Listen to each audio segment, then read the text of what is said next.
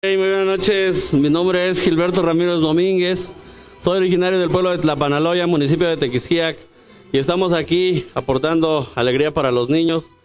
Llevamos ya a cumplir 21 años con esta tradición tan noble y tan generosa, y que lo hacemos con mucho cariño y con mucho amor, más que nada en estas fechas por la sensibilidad que existe, más que nada hoy en la actualidad de la vida por las condiciones que se encuentra en nuestro país, y más allá por la estabilidad que se encuentra en las familias. Es ahí donde surge esa idea primordial hace 21, tratando de impulsarles amor, cariño, desde nuestros niños hasta la gente que hoy en el mundo tiene que luchar por su vida y misma. Eh, hace 21 años, un 16 de septiembre, pasé por una placita y me inquietó mucho comprar un traje, pero más allá, a mis 19, 20 años, yo tenía más de 80 hijados.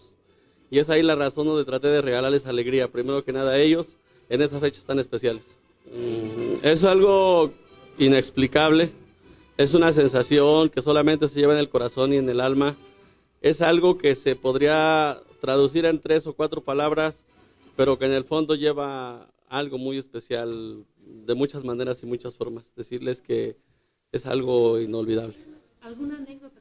Pues de algún niño, algún día cuando eran chiquitos yo empezaba, me quemaron el traje, alguna otra, descubrir cómo hay inestabilidad en las familias cuando hay quien puede gozar y darle un juguete con cierta economía a su hijo, curiosamente le rompen el corazón desde, desde muy temprana edad, a los 3, 4, 5 años, pensando que esto no existe. Sin embargo, pues sí, sí existe porque prácticamente es la fe con la que nos desenvolvemos prácticamente. Eh, darles algo a los niños, darle algo a la gente, para mí representa mucho.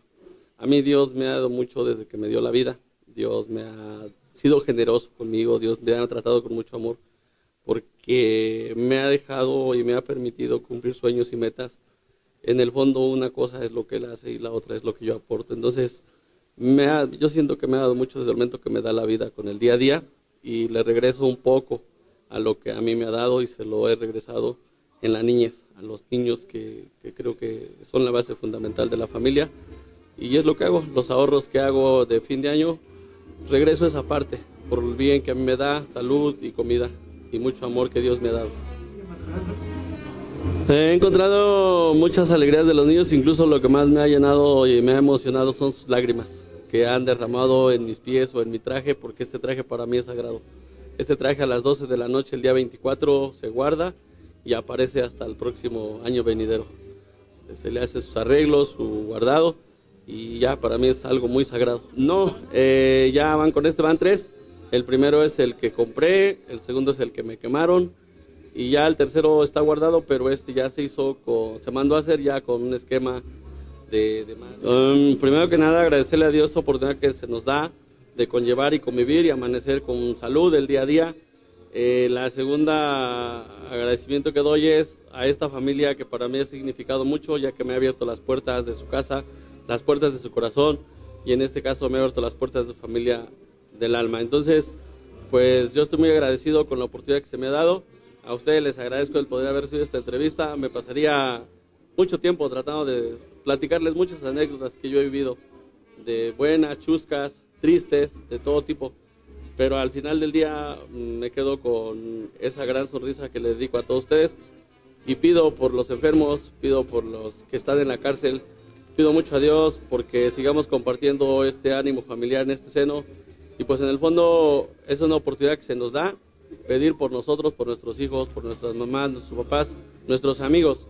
Entonces, eh, hoy espero que estas fiestas decembrinas pues sean de su total, eh, digamos que convencimiento, donde queden satisfechos de tener esa paz en su alma y enseguida pues decirles que el año venidero pues ojalá sea mucho mejor que este y esté lleno de éxitos. Antes que nada, que no, no pierdan la fe, no pierdan el ánimo.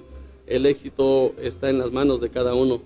El fracaso solamente es un mito, es una historia, pero es por la cual no debemos de pasar ninguno de nosotros. Entonces, pues que el año venidero sea de mucho éxito y de mucho amor para todos.